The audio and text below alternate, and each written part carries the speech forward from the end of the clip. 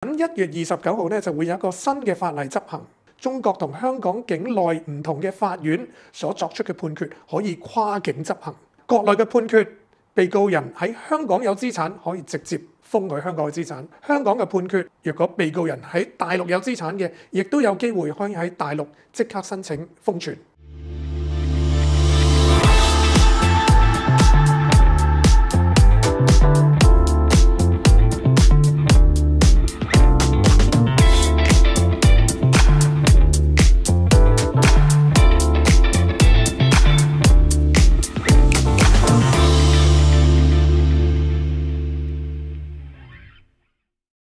大家好，歡迎大家再次翻到嚟我哋呢個節目。喺今年嘅一月二十九號呢，就會有一個新嘅法例生效。呢個法例呢，主要呢就係針對香港同埋中國唔同嘅法院所作出嘅判令，可以點樣跨境執行嘅。今日就等我同大家詳細咁講講呢個新法例嘅應用係點樣。喺呢個世界上面呢，每個國家都有自己獨立嘅司法管轄權，所以呢，喺一個國家所作出嘅判令呢，好多時都唔能夠攞去第二個國家嗰度使用或者執行嘅。通常嗰啲判令咧都只限於喺嗰個國家嘅境內先至有執行力。所以咧，亦都有啲國家與國家之間咧簽訂咗一啲司法互認嘅條款，就為咗方便咧唔同國家之間咧可以更加緊密咁樣合作去執行一啲大家法院所作出嘅判決啦。例如香港咧，其實一直都有唔同唔少國家簽訂咗一啲司法互認嘅條款嘅。例如香港法院係可以執行直接執行一啲新加坡啦、馬來西亞啦、澳洲啦，仲有一干等國家所作出嘅判決，唔需要喺香港重新審訊，就可以喺香港直接申請執行。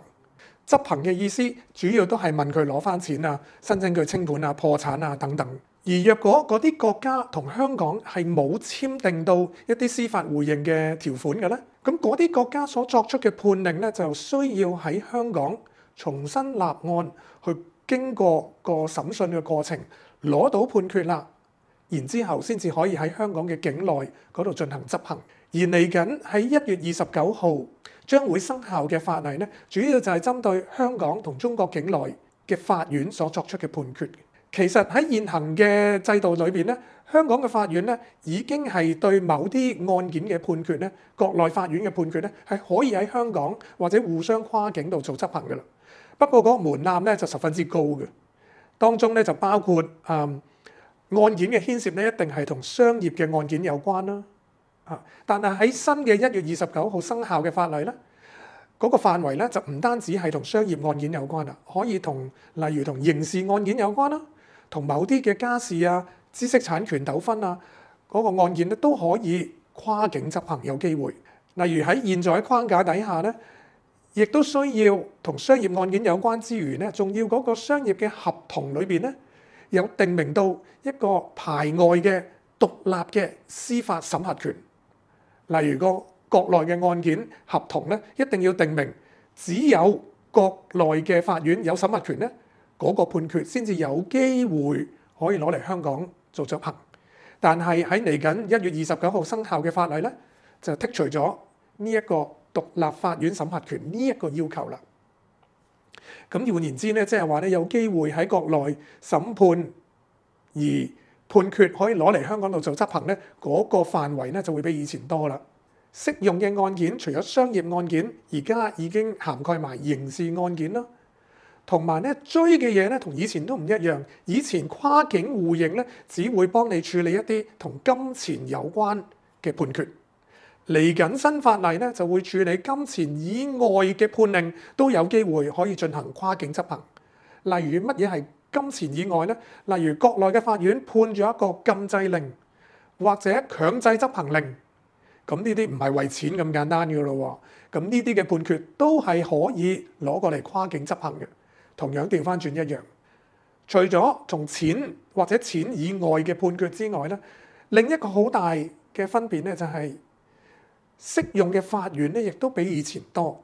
嗱，喺新法例底下咧，香港唔同級別嘅法院，包括高等法院、區域法院、裁判處，甚至乎一啲仲裁處，例如小額錢債審裁處啊、啊勞資審裁處啊、土地審裁處等等嘅判令，都可以攞翻國內嗰度做執行。同樣喺國內認受嘅法院，包括最高人民法院啊、中級人民法院、地區法院等等嘅判令，亦都可以直接攞過嚟香港度做一個執行。我呢亦都有就呢個新嘅法例咧問過一啲專係做清盤啊、清算嘅專家啦。喺新嘅法例底下，會唔會幫助得到佢哋進行一啲境內或者國家或者中國境內嘅嘅追訴咧？因為喺以前咧，我嘅理解咧。就算香港法院出咗一個判決都好啦，嚇！如果被告人係喺國內有資產嘅咧，要攞翻國內嗰度做執行嘅咧、清算嘅咧，其實係有一個好高嘅難關嘅。咁嗰啲清盤人咧亦都話咧好歡迎呢個新嘅法例，相信咧係對於佢哋跨境度做清算咧係有幫助嘅。但係要記住啦，